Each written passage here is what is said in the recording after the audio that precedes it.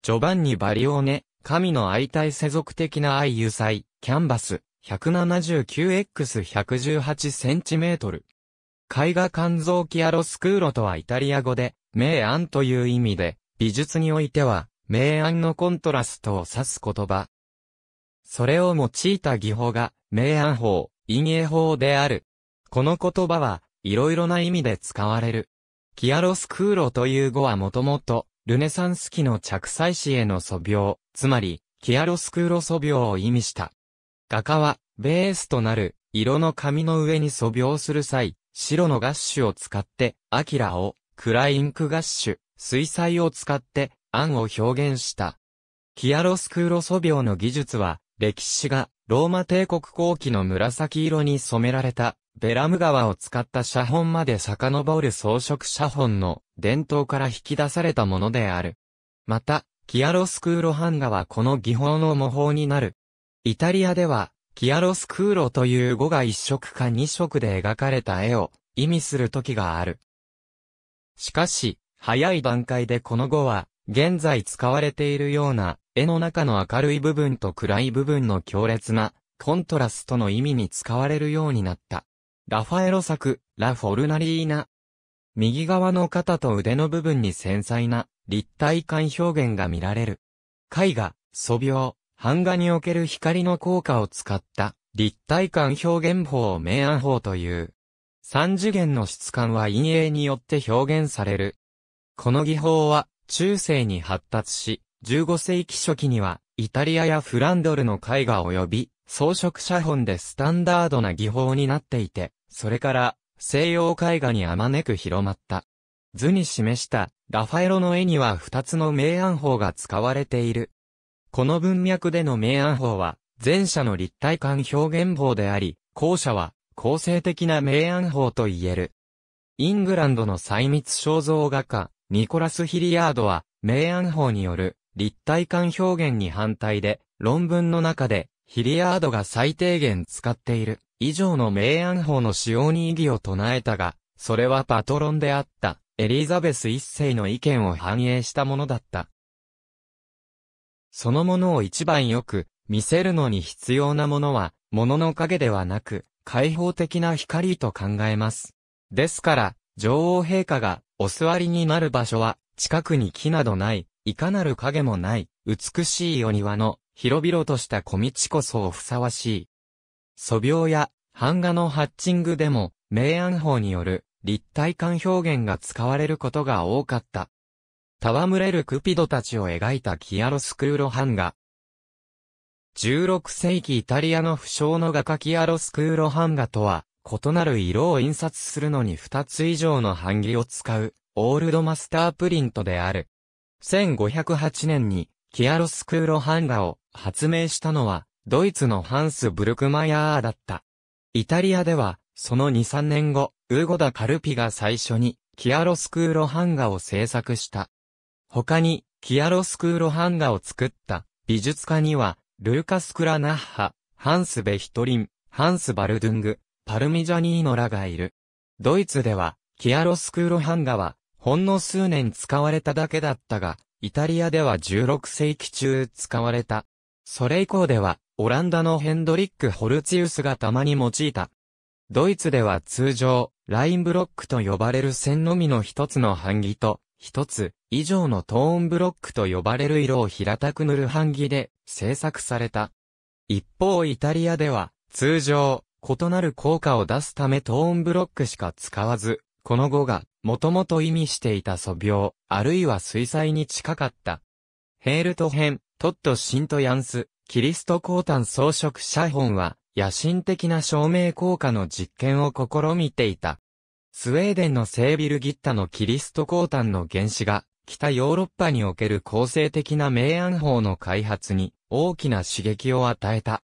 セービルギッタは、幼子イエスが光を放っていたと語ったのである。そのことから、キリスト光端図を描くときにそれ以外の光を否定するようになり、バロック期を通して、ごく普通に明暗法を使うようになった。フーゴー・ファンデルグースとその弟子たちは、ろうそくの光一本、あるいは幼子、イエスの放つ光だけ光源を持たない絵を数多く描いた。その絵は、他のバロック絵画より、静寂さと落ち着きを有していた。16世紀のマニエリスム絵画とバロック絵画では、強烈な明暗が人気になった。神の光は、ティントレットやパウロ・ベロネーゼ、それに二人の多くの弟子たちの作品を照らし続けた。暗い物体が単一でしばしば目に見えない光源から放たれる一条の光によって劇的に照らされるという、この構成的な明暗法を発展させたのが、ウゴダ・カルピであり、ジョバンニ・バリオーネであり、カラバッチオであった。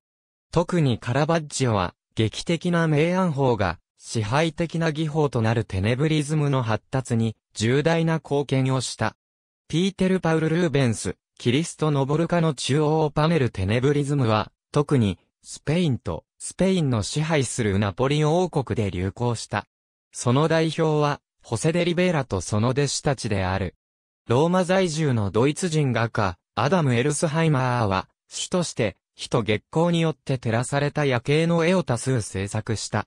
カラバッジオと違って、エルスハイマーは、暗の部分に非常に細心の注意を払った。カラバジオとエルスハイマーの影響を強く受けたのが、ピーテル・パウル・ルーベンスである。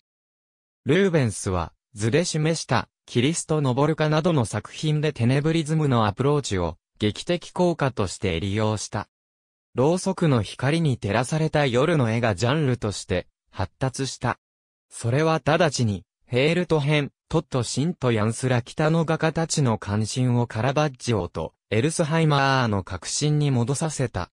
17世紀の最初の10年間、ネーデルラント出身の多くの画家たちがこの主題で絵を描いた。ヘラルト・ファン・ホント・ホルストやディルク・ファン・バブーレンといったユトレヒト派の画家たち、ヤーコブ・ヨルダーンスといったフランドルバロック絵画の画家たちである。1620年以降のレンブラントの初期の作品も一本のろうそくの光を光源に使っていた。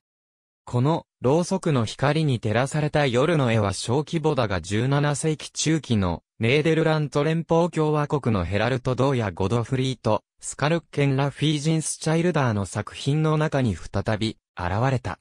ネーデルラント以外では、フランスのジョルジュ・ド・ラトゥールやトロフィーム・ビゴー、イングランドのジョセフ・ライト・オブ・ダービーらが、ろうそくの光の明暗を使った。一方、アントワーヌ・バトーは、雅な園の葉むらの背景に、穏やかな明暗を使い、多くのフランス人画家たちがそれに続いた。17世紀の終わりになると、ヨハン・ハインリヒ・フュースリーなどがロマンティックな効果を出すために、明暗法を使った。映画では強烈なライティングで明暗を強調することがある。例えば、1922年の映画、吸血鬼ノスフェラトゥの壁に映った、吸血鬼の影や、必殺シリーズなどが有名である。写真で、同様の効果を狙ったものでは、横から強烈なライトを当てたビートルズのアルバム、With the Beatles のカバー写真が有名である。明暗のコントラストを強調する記録写真家では、ユージン・スミス、ヨゼフ・コーデルカ、ダイアン・アーバス、ゲイリー・ウィノグランド、ロータール・ワラ、アニー・リー・ボビッツ、フローリア・シジスモンディ、ラルフ・ギブソンらがいる。ハーバード・アート・ミュージアム・グロッサリー、シーオルソー・メトロポリタン・エクスターナル・リンク、ハット・イグザンプル・フロム・ザ・メトロポリタン、ハット・デビッド・ランダーピーター・パーシャル、ザルネッサンス。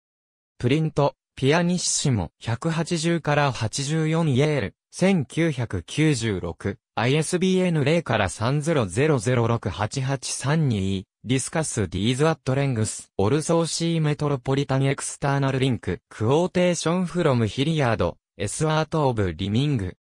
C1600 インニコラス・ヒリヤードロイストロング1975 P24 マイケル・ヨゼフ・リミテッドロンドン。ISBN 0から71811301ウーゴダ・カーパイアフター・パルミジャニーノ。ディオゲネス、ワーク・オブ・アート、ハイルブラン・タイムライン・オブ・アート・ヒストリー。ザ・メトロポリタンガ・ミュージアム・オブ・アート、2008年10月11日時点のオリジナルよりアーカイブ。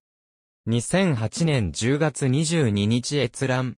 For the Whole Subject, C. デビッド・ランナーピーター・パーシャル、ザルネッサンスプリント、ピアニッシモ、179から202、273から81パッセームイエール、1996、ISBN 0から30006883 2ありがとうございます。